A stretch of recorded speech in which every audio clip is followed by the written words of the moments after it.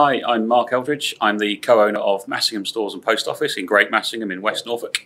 Uh, I run this business along with my wife Kerry, and just to be here today winning this award is the proudest moment of my career.